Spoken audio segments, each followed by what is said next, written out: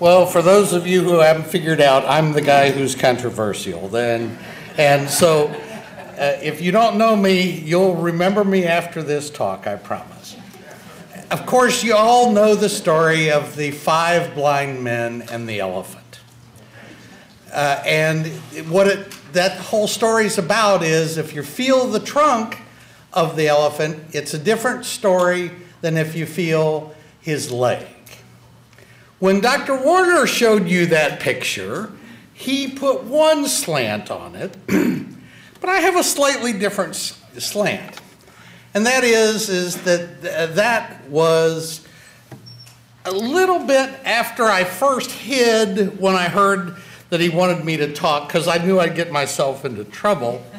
And he then got me to give this talk by trying to threaten to kill me. so it's all in perception. Talking about perception. Today we're not going to talk about survival differences of five months or the difference between five months and 11 months. We're going to be talking about survival differences of five years, 10 years, and 20 years, which is what we think where we want to take this disease from a disease that's an acute cancer and make it into a chronic disease like diabetes. So, to begin with, I'm going to start at the beginning and I'm going to flip back and forth trying to compare and contrast carcinoids and gut based tumors with pancreatic based tumors. You've heard that there are differences in response today. Well, where do they come from? Well, the, the ones in the pancreas came from neuroendocrine stem cells, just like the ones from the guts. The ones that go to the pancreas and the duodenum, they make peptides generally. And those peptides are things like somatostatin that we heard about, things that you know every day about, like insulin, or the, the peptide that, that is the opposite of insulin. Insulin lowers your blood sugar, makes you use blood sugar. Glucagon raises your blood sugar, makes you store it in, in cells uh, or release it from cells so you can use it. There are other kinds of cells in the, in the pancreas, those that make pancreatic polypeptide, those that make things like intestinal, uh, VIP or vasoactive intestinal peptide. And all of these things have individual actions. VIP makes you put motility to the bowel, makes you put fluid in the bowel, and it, its side effect of having too much VIP is you have diarrhea. Somatostatin, on the other hand, counteracts the relationship of VIP to the, the colon or the small bowel. If you have a Kulchitsky cell, that is a cell that makes amines, your tumor develops along the line of a carcinoid or a gut type based tumor. They are either non secretory or if they secrete, it depends where they are in your body, what they secrete. There are foregut lesions, like in the thymus and the, in the lung, that secrete histamine, bradykinin, and those kinds of things. And then the gut-based tumors tend to secrete serotonin.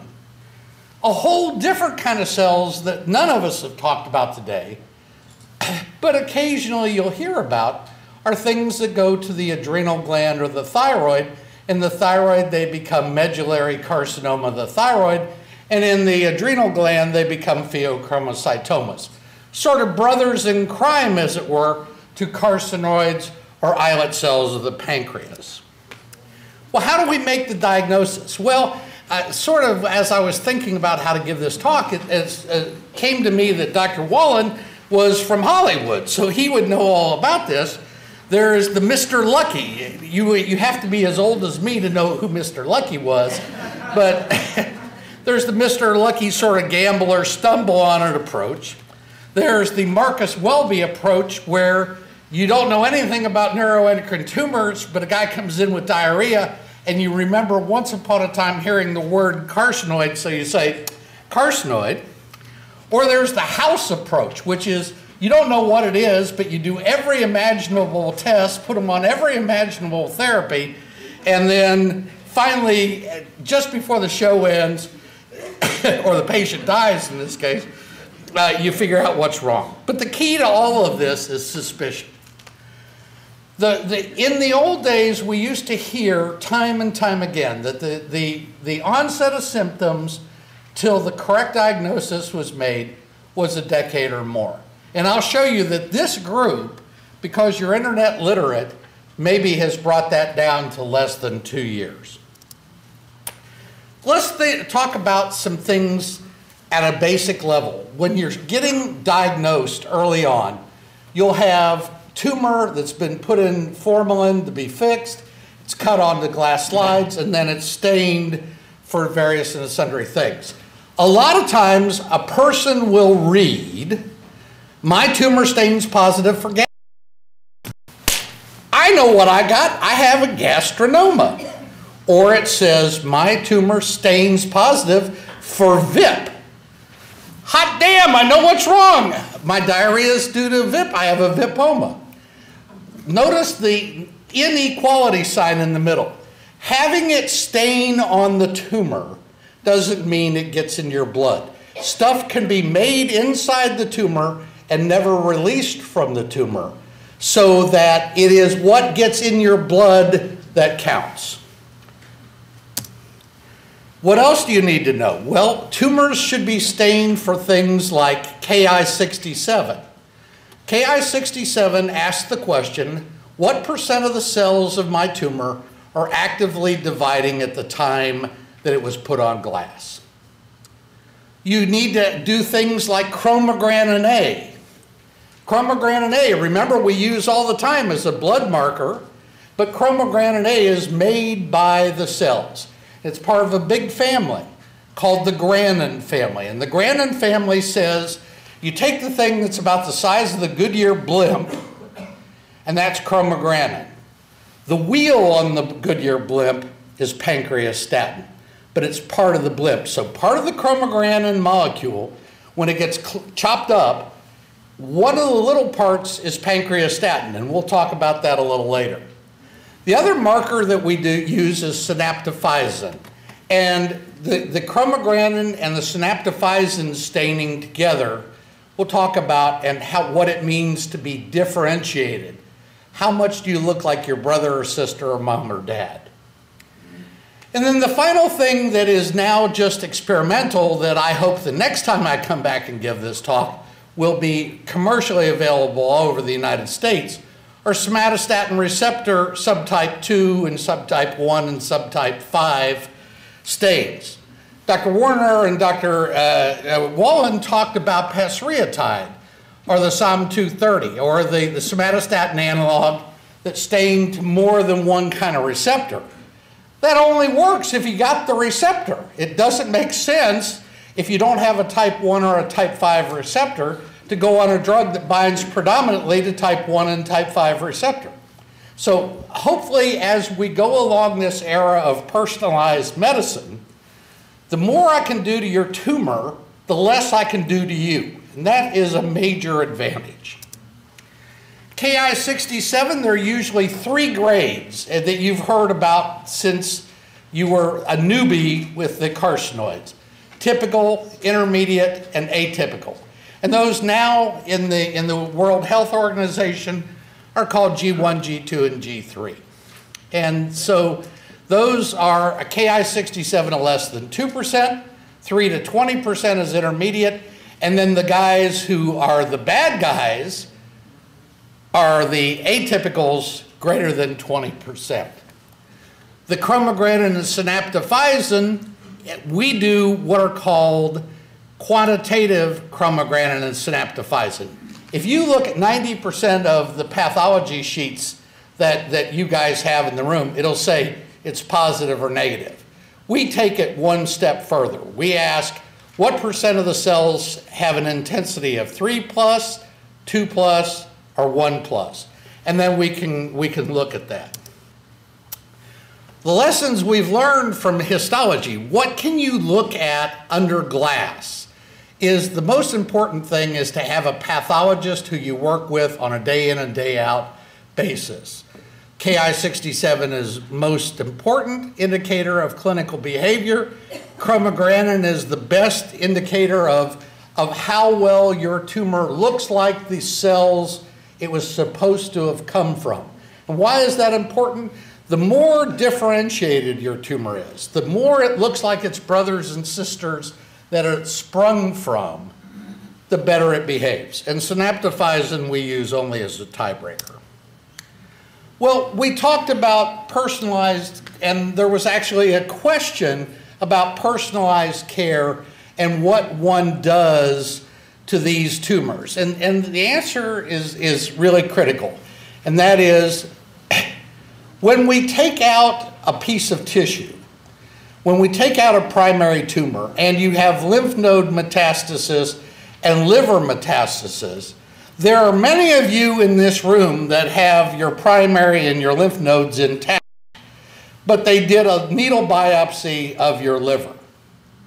And what I'm going to show you later in this talk is that if you take all three pieces of tumor out and you compare them side by side, same pathologist, same technician, same day read, that your, your primary tumor, your lymph node, and your liver met aren't even from the same planet. So if you have a therapy that is based just on one kind of tissue, you may go down the wrong pathway. Things that we do is we tend to send, sell, uh, or send these tumor cells off for a bunch of different analysis. Sometimes we don't use that information, but sometimes it's critical, like in cases where you have an atypical or a high Ki67 or rapidly proliferating tumor, we use the, the in vitro test tube data to pick the chemotherapy that we're going to treat, it with. The angiogenic index, there are two stains called CD31 and factor 8 that tell you how many blood vessels, as the, the pathologist looks at the slide, it's called a high-powered field. How many blood vessels are there per high-powered field? But you have to have a dedicated pathologist. He has to cruise the whole slide, look at maybe a thousand high-powered fields to pick the ones that he's going to count because you want to pick the hot spots, not the, the, the places that are low spots.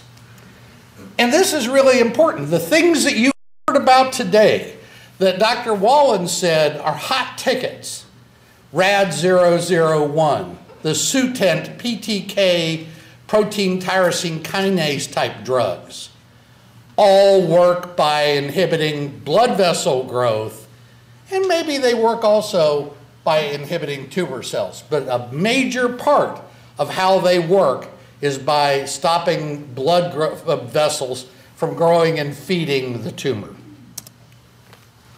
For islet cell tumors, the things that you need to know is that it takes you a, a, an initial screen of all kinds of peptides for you to know which ones to use in the future time to follow your tumor. In other words, pre-op, you draw a tube, a set of tube of bloods, and you send it for gastrin, glucagon, VIP, substance P, neurotensin, uh, uh, PP, ACTH, all the things that I listed, and maybe only one thing comes back positive.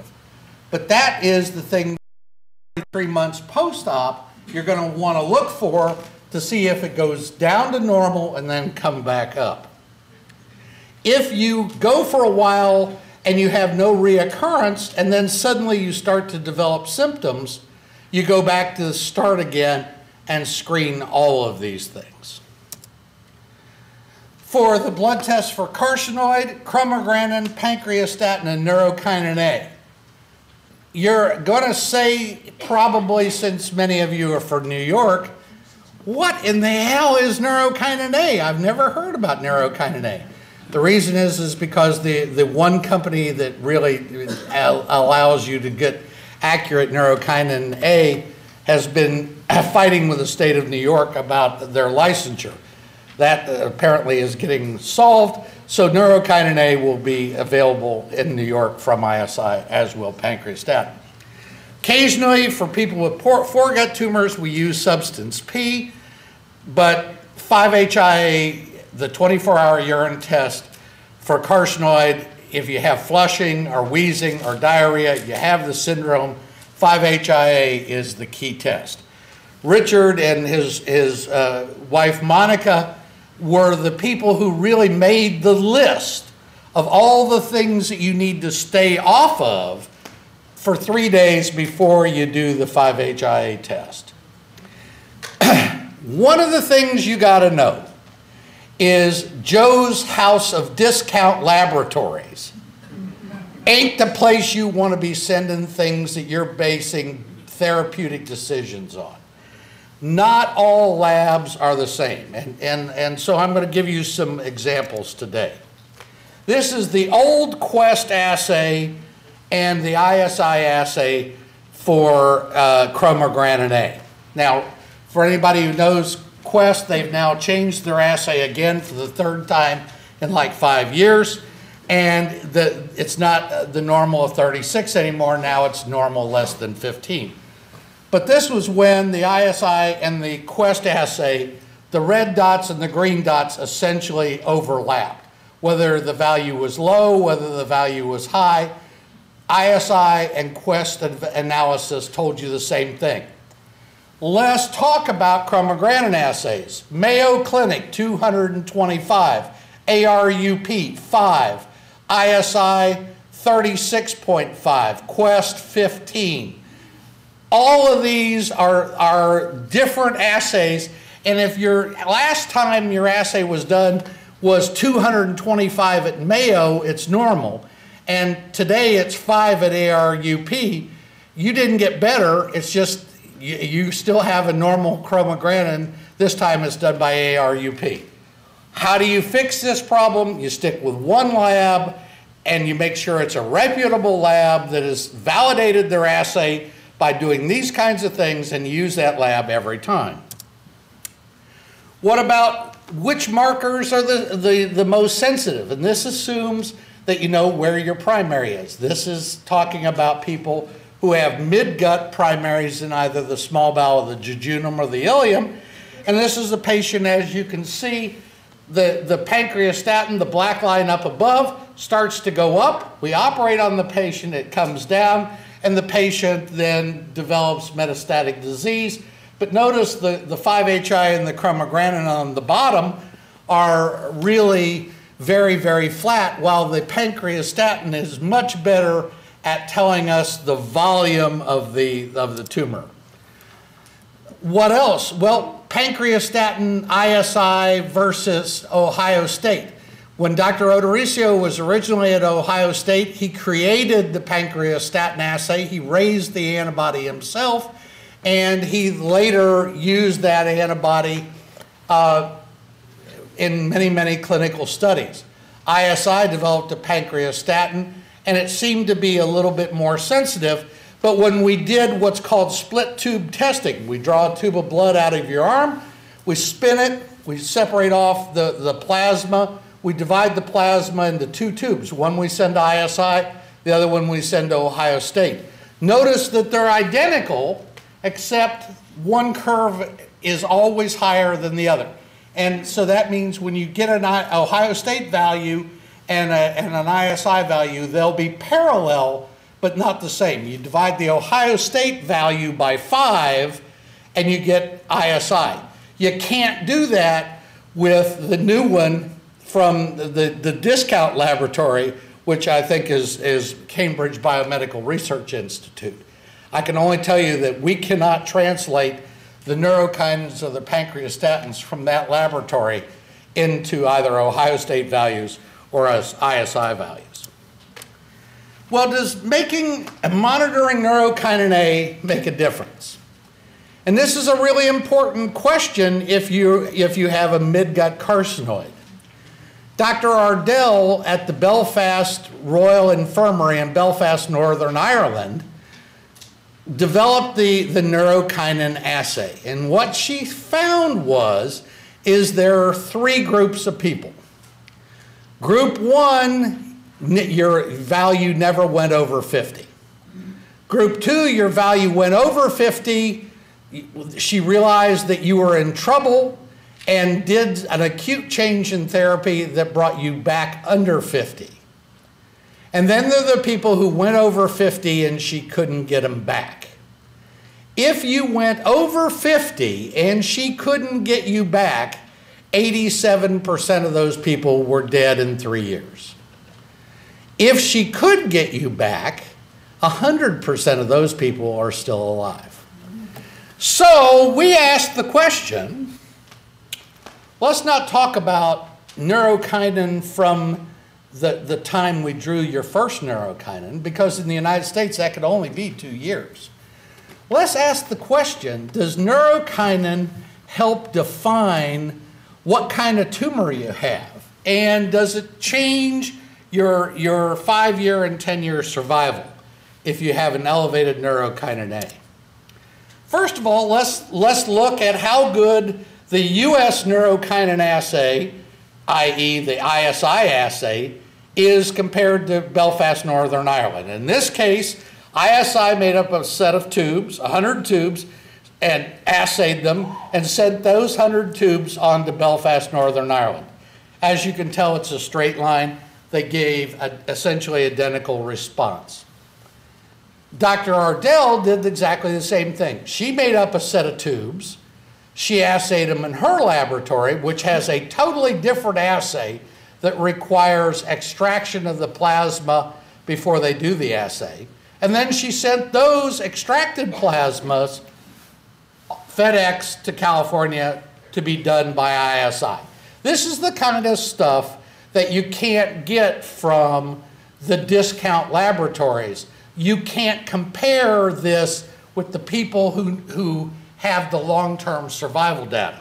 And as you can see, again, there's a very good correlation between these two assays, one in Ireland and one in California. Now, what about our thing? Well, we started out with 400 people who had metastatic neuroendocrine tumors of the small bowel. 148 of those people had never been over 50 on their neurokinin, and their median survival was 275 months. Their five year survival was 97%, and their 10 year survival was 94%. So, guys, that says that, and every one of these people had metastatic disease. 94% of these people are alive at 10 years. That's an incredibly high value. If you went over 50 and we couldn't bring you back, there were 20 of those, the median survival was only 145 months. And the difference is 130 months. That's over 10 years. That is a huge difference. And you got to consider that this assay has only been around for about four years. So let's look at the survival curve. These are the survival curves.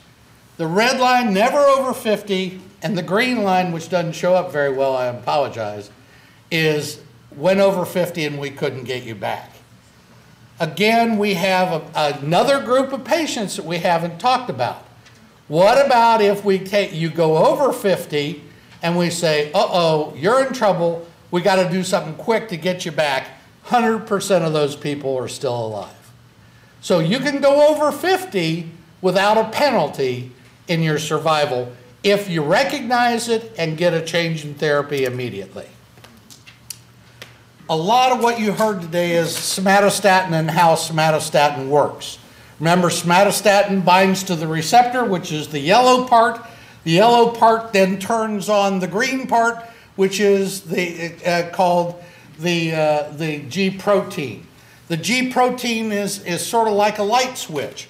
When you turn on the G protein or turn off the G protein, certain pathways light up or don't light up. And that has to do with the secretory vesicles and the release of, of peptides or hormones but as you heard today by Dr. Wolin, it also says something to do about the basics. And the basics are, do cells grow faster or slower in the presence of somatostatin analogs? And the answer is they grow clearly very much slower. What defines that is how many of the receptors are bound at any one time. If I ask you to look around this room and we're going to turn out all the uh, ceiling lights and I say, how many uh, places can we plug in lamps? that you can count pretty quickly how many receptors there are in this room. How much light I can get into this room is how many receptors there are and how big is the light that I put in one receptor. For somatostatin receptor subtype 2, which is the one you need to know about, type 1 and type 5, we don't really know diddly squat about those receptors. But type 2 receptors, we know a bunch about, and they're the ones that you want to get every one of them saturated that you can. It is commonly uh, assumed there is a, a special word, it's called the KD, and that's the concentration of drug that saturates half your receptors. For somatostatin receptor subtype 2, that's 10 to the minus 9 molar, or about 1,000 picograms per mil in the blood test. 30 milligrams of LAR, about 5,000. 60 milligrams, usually in the 7,500 to 10,000 range, but women have higher blood levels than men if they weigh the same and have the same body mass index. And so height, weight, sex, and body mass index all screw up your blood values. The bigger you are, the more drug it takes to saturate your blood. Somatuline Depot, 120 milligrams every two weeks gets you up near the 10,000 mark. Why do we want to saturate your receptors? It ought to maximize your symptom control. It ought to minimize wasted drug because if I put 10 times more than, than saturates the receptor, it's just wasted. Ought to maximize your anti-tumor effect. This is work done by Roberto Danesi from Italy on HUVEC cells, human umbilical vein endothelial cells. These are blood vessel cells. And what he showed was as you increase the amount of octreotide, the, the number of cells that are, stay alive go down and down and down. But then if you go even higher, out here, cotton picking cells start to regrow and the effect is lost. And the guy who figured that out is a gentleman from Los Angeles named Shlomo Melmed. And what Dr. Melmed showed was that as you bind a type 2 receptor, you progressively inhibit, and then once you've saturated type 2 receptor, type 5 starts to, recept, uh, to saturate, and type 5 turns off type 2. So now we understand why too much octreotide is equally bad as too little octreotide. And we've seen this study a thousand times today. Promid, promid, promid, promid. Why is it so important? Because for the first time, we, we got clear-cut evidence that octreotide blocks tumor growth. But did they go far enough? They picked 30 milligrams. Why? Because that's what, it's, uh, that's what the FDA has approved, 30 milligrams. What's the average dose of octreotide LAR in the United States today? 42 milligrams a day, or 42 milligrams a month. Notice that is way higher than 30 milligrams. And that, and notice when Dr. Wolin was talking about the new pasireotide study, they were going to use 40 milligrams. That's where they came up with that. The key question is, does higher doses, i.e. higher blood levels, have an increase over the PROMID study. So if 30 is good, is a blood level greater than 5,000, no matter what dose it takes, even better. Prospective study from, 19, from 2004 today. 2004 is important because before that, you couldn't commercially uh, uh, measure octreotide levels. The number of females and males were percentage-wise the same in both studies. The people were about the same. And the dose that it took, less than 5,000, was 37 a month. And the greater than 5,000 was 62 milligrams a month. But what about survival? Does it make a difference if your blood levels are measured and they're higher? And the answer is look what happens when the blood test becomes available and now we can make a difference by choosing a higher blood level or a lesser blood level. An acute split and the median survival is 151 months if you're the green line and 275 months if you're the red line. More drug makes a difference. Well, let's, let's talk a little bit about one of the, the points that were brought up in the earlier talks.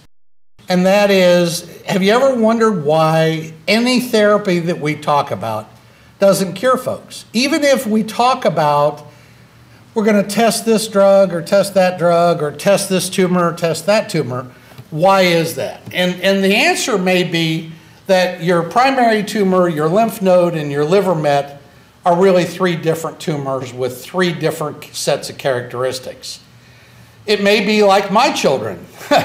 my son is 6'3", my daughter is 5'10", and my stepdaughter is 5 foot. You know, they're all part of the family, but they all look like different kids, and you can clearly see that they, they have uh, different characteristics. And, and the same clothes wouldn't fit all three. The same therapy doesn't necessarily fit your primary, your lymph node, or your liver. But can you prove that? Well, Dan Von Hoff, who is now at the University of Arizona, was the guy who did, invented drug resistance testing. And what he did was he took pairs of tumor, pairs, uh, pieces of tumor, two places in the same primary, primary to node, primary to liver met, liver met to node, etc. If you looked at the two areas of the primary tumor, he had 12 of those, 29 pairs of primary versus met, and 45 pairs of met versus met inside the primary tumor. So if you take one tumor and you compare it multiple sites in the primary, you do pretty well. But if you compare the primary to the lymph node, or the primary to liver met, notice that that didn't work. That doesn't give you the same profile. So if you use the same chemotherapy on your primary and on your metastasis, or one met you look at over here and you test it, and then you use that to test this met or treat this met, you're going to go down in flames. So we, we have a philosophy. We're very aggressive surgically. We resect primary tumors. We try to get rid of uh, lymph node metastasis, and we try to cytoreduce or, or get rid of organ metastasis. The idea is, is we're going to test all of these things because we think that by testing all of them, we get more information than we do by one. But again, can you prove it? Don't tell me about some pharmaceutical study Tell me about can, can you do the prospectives trial yourself? So who wins a chess game? If you're, if you're Boris Spassky or Bobby Fischer and you're playing Gene Woltering, you can beat me with one half of your brain tied behind your back. Why? Because Gene Woltering is thinking about one step. What step am I going to do next? Whereas Bobby Fischer, Boris Spassky, guys, They've already played the game 6,500 times in their head. No, by the time you make your second move, they know what your, your game plan is and they have an effective strategy against it. So we think that that's sort of what you have to do. The more information you can get early on in your, in your care, the, the better off you are. So what do we test? We test the Ki67, the quantitative chromogranin, we do quantitative CD31 and factor VIII. We do drug resistance testing on the tumor. We do drug resistance testing on the tumor uh, on, and, and against angiogenesis, against the blood vessel part of it. The good news is we do the, this last test for free. So if your insurance doesn't want to pay for free, that, that's okay with us too. The drug resistance testing, the, the company that we send it to, Precision uh, Therapeutics, uh, will send you three bills. If you don't pay it, they write it off, and, and they never will send you another bill. The, the, the Ki67s and the chromogranins and synaptophysins, the insurance company pays for. Uh, again, we've already talked about the Ki67, the quantitative chromogranin, and the CD31. The angiogenesis model looks like this. I take a piece of your tumor. I, I, take one gram of tumor and I chop it up into about a thousand pieces. Why a thousand pieces? Because, as was suggested by Dr. Wolin, wouldn't it be nice if we could freeze some of your tumor and 10 years from now, when a new therapy comes out, we could wake it up, sort of like the, you know, the uh, old uh, science fiction story, and bring it out of suspended animation, and it's still alive, because it is. So we then overlay these things with drug, and at the top, we ask the easy question, does it grow or doesn't it grow? Yes or no, black or white? And then at the bottom, what we do is we create a score and ask how much growth is there from the edge out this way and what percent of the circumference is involved with blood vessels. The guys in my lab call these my chia pets. For you, I take your tumor and I ask three different things. What percent of wells begin to grow in the green? And then for each of the tumors, for each of the different therapies. So right here is RAD 001. You wanted to know the effect of, of RAD 001 if you took it? Well, there it is. What about other things? There's Gleevec, there's PTK, protein tyrosine kinase like Sutent. There's its effect. And then you have things like 2-methoxyestradiol, which is uh, a, a, a, another one that Dr. Uh, uh, from Boston, Folkman, and, and his company EntreMed did. And then there's some standard things like Taxol and colchicine, and then some biologic products like Chinese sweet leaf tea. The red lines represent how much the, each individual grew. This is yes or no, did it grow? This is how much it grew, and if you put the green line with the red line, you get the blue line. And as you can see, when it, when it has a good effect at blocking the beginnings of growing and a good effect on growth, then the overall effect is spectacular. But this tells you before you ever have to take a drug what a potential is that would, would give you the next step. What are we going to do? Well, we'll look at this and say, hmm, for you, RAD doesn't worth work, uh, work worth a darn. So we won't use RAD in you. And then let's look at PTK. Well, this is a different kind of analysis.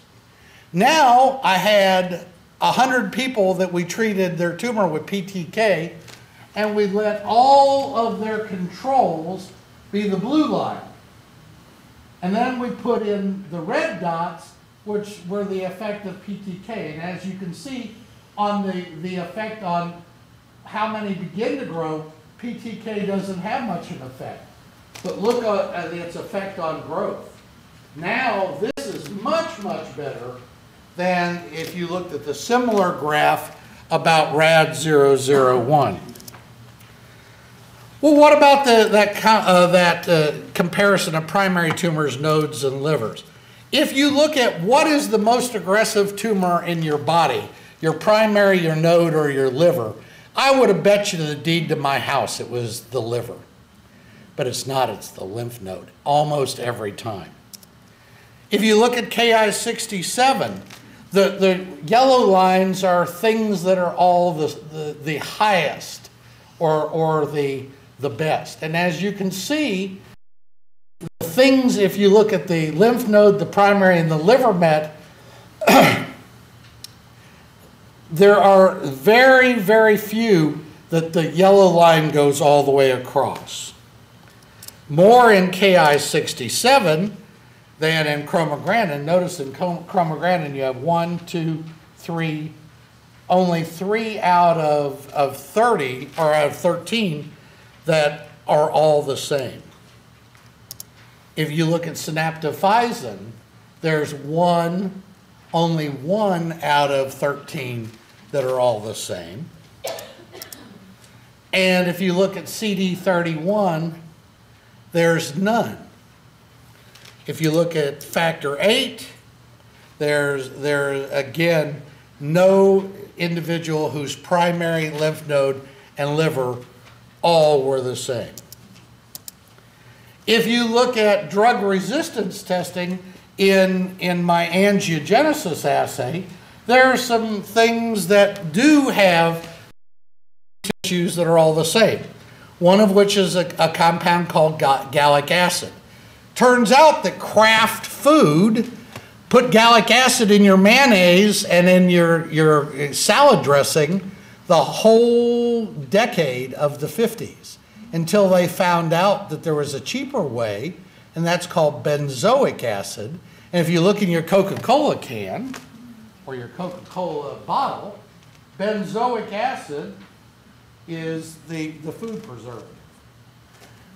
Anyhow, again, very few of the, the lymph nodes, the primaries, and the liver mets are all the same. But you can now look at each individual one and say, you, you, this tumor requires RAD, this tumor requires PTK, and this tumor requires Taxol. What we've not done is then try to combine that information and see if a combination therapy would be more effective than sing, single agent therapy. The FDA doesn't like this because there are no way, because you're different than your wife or, or your wife's different than your, your kids, for the FDA to control those kind of trials if your primary tumor and your liver met inside your own belly are different, how are we ever going to compare you to the guy sitting next to you or the lady sitting next to you? What about chemotherapy? Again, look at the number that three out of three tissues match. Not very often. Again, 13 is the usual high number that we have tested. So again, what, what affects your primary tumor doesn't necessarily affect your lymph node, doesn't affect your liver met. Well, what are the things that over the last decade we heard that the incidence of neuroendocrine tumors has tripled, but the survival, I'm going to show you, is better. Well, we're doing aggressive surgery. We're doing drugs like RAD001, PTK787, Sutent. We're doing high dose octreotide, lanreotide. We're doing PRRT. We're doing better biomarkers. We're measuring them every three months. We're changing when things look like it's going bad earlier in the game. We're doing conferences like this where I get a chance to talk to you about what came out of my lab last week and you're hearing it today before any journal has ever seen it. Okay? So, it, to that end, does coming to see Richard Warner, Dr. Wolin, or Dr. Woltering make a difference in your survival? Are the experts better than the guy at home who you've known since you've been six years old and who you love? He was a nice guy, but he ain't a neuroendocrine tumor expert. And I'm going to talk about that. We believe that it takes a village. Thank you, Hillary. Please, God, don't, don't strike me dead. Anyhow, multimodality care. I am not a gastroenterologist. Dr. Wolin and Dr. Warner aren't surgeons. I'll bet that if we sit at this table, we have some disagreements, but when we come to an agreement, you get better care than if you come to Gene Woltering or Ed Wolin or Richard Warner by themselves. Because three heads truly are better than one. And I think that a NETS center is, is what takes and makes a difference. If you look at the, the NANETS, the North American Neuroendocrine Tumor Society's guideline paper that they put out in August of 2009. 10. This data, the SEER database, is what is the nationwide average, and that is the, the red line, or excuse me, the, the green line. Ours is the red line, and it's the survival, the median survival if you come to our group which is a multi-specialty NETS only type of group? And the answer is, if you look, there are 319 people with metastatic neuroendocrine tumor of the small bowel that have had care at, at our group, and there were 116 people that were in the SEER database. Our median survival of all these people, regardless of what therapy they got, was about double, or a little over double, than the SEER. And if you look at the 10-year survival, there's a 30% difference in survival. And these are all highly statistically significant. It says that experts do the job better than your family doc. That doesn't mean the family doc doesn't have a role. There's not one of us now that doesn't rely on the family doc to, to implement the plan that we make. And that, that's where it works. New products on the horizon. You, you probably, if you wa uh, watch the ACOR list and me talking, I talk a lot about black raspberry powder. The black raspberry powder is basically black raspberry fruit, freeze dried, ground to 80 mesh. The seeds are taken out of it, and you have a powder that you make a cool water extract out of. You mix the powder in cool water, let it sit overnight, and then you strain the, the pulp out. We, we started using this uh, in a number of patients based on work by Dr. Gary Stoner at The Ohio State University. Dr. Stoner has two phase two trials now, one with Barrett's esophagus, the other with leukoplakia in the mouth. And uh, uh, the idea is, is that they used it as a chemo preventative. And there's some handouts that Grace has somewhere up there. And where we're using it as more of a therapeutic. Again, the blue line represents people, tumor, they're untreated in our assay, and the dots are black raspberry versus the percent of wells that begin to grow. And as you can see, the two lines are parallel. The, the raspberry has an effect, but some effect people it has a great effect, and other people it has very little effect. But if you look at the overall effect, it now starts to clean up, and you can see that while this person here would not be a very good person to put on black raspberry, these kind of people here, it has a profound effect on the growth of their blood vessels. I'd like to take this opportunity to say thanks. Uh, wherever you live, there's somebody doing neuroendocrine tumor research, no matter where, where it is. Support those people. And remember, the Komen Foundation has raised a billion, that's with a B, a billion dollars for breast cancer research. I, don't, I don't think we need a billion dollars, but we could need, you know, a Steve Jobs to come up with a couple of million our tumors grow slow. So we don't have race for the cure. I'll be happy to crawl for the cure.